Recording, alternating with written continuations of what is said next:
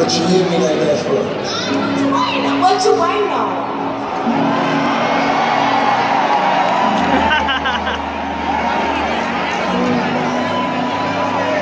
I'm gonna have to call security on that.